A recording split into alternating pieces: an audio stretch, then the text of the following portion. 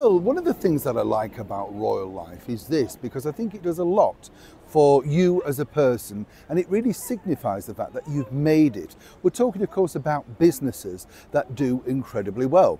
Now of course when you think also businesses today can do well all thanks to the world of social media. I read recently about a company that got promoted by a big influencer and that really shot up their business and really helped them and I think that's a nice positive story isn't it? But really getting one of these surely must be the icing on the cake. Yes we're talking of course about the wonderful royal warrants. Let me explain. All right. I'll get there in the end. It's been a long day. Yes. I better do it before the light goes, actually. nice to see you anyway. Thank you. That's right, the royal warrants are something to behold. Absolutely. We'll have a quick wave, sorry, by the way.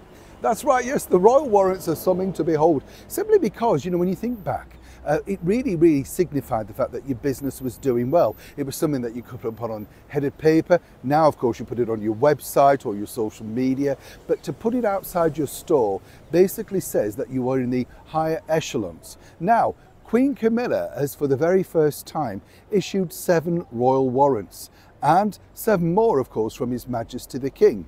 Now, these will do a lot of good for businesses, and all the naysayers that say no, they don't do anything, they truly do because tourists do want to shop in the stores that supply things to the British monarchy.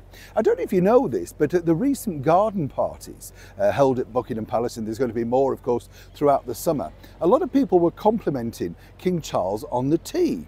And, you know, he couldn't say exactly where the tea was from because obviously it will be promotion. But I can tell you that the tea served at the royal garden parties at Buckingham Palace is none other than the Fortnum and Mason's Royal Blend.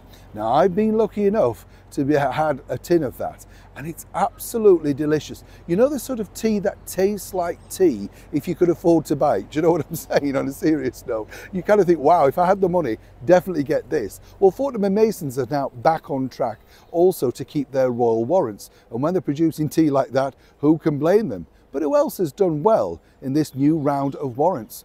Let me explain. Among them are the luxury department store, the aforementioned Fortnum & Masons, the Cornwall-based sparkling wine producer Camel Valley, and Shane Connolly and Company, which was the florist for Camilla and Prince Charles's wedding in 2005, and then at their Westminster Abbey coronation last May. This is more important, of course, because companies that have held their royal warrant and recognised for providing goods or services to the monarchy are indeed those that have retained them, which include the luxury jewellers, Cartier, Garrard and Company, Mappin and Webb, champagne producer Laurent-Perrier, whiskey distiller D. Johnson and Company, and high-end supermarket Waitrose. Next time you go past one of those particular stores and you think, wow, you know, how do you get one of those? What you really have to do is send copies, products, whatever, to the royal household, and then that gets passed through. And if they're looking to, you know, renew or indeed just sample a brand new product, then you could be lucky enough to finally get a royal warrant, and it does a terrific amount for your business.